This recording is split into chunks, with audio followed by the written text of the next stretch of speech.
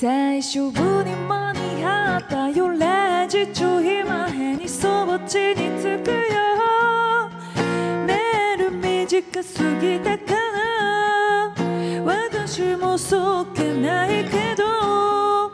新大阪駅まで迎えに来てくれた。あなたを見たら。いつも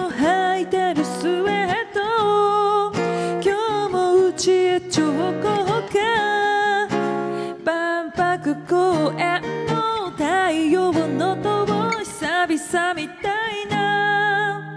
明日さたまにはいいじゃんそうやなって行くの行かないの。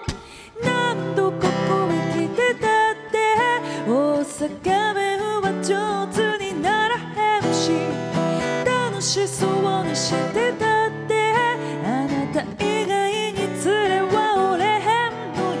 近そうでまだ遠い大阪。